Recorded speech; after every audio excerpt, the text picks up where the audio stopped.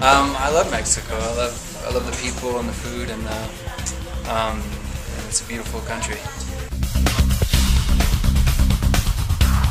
And the drive uh, the drive from from Veracruz to Mexico is one of the best drives I've ever taken.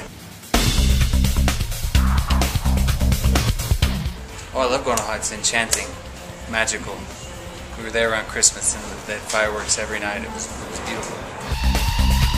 Come to Mexico to shoot. I love Mexico.